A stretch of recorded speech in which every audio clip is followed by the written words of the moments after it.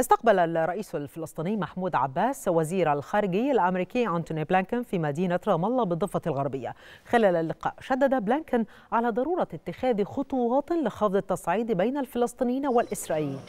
كما أشار وزير الخارجية الأمريكي لأن واشنطن ستقدم 50 مليون دولار إضافية لوكالة غوث وتشغيل اللاجئين الفلسطينيين أونروا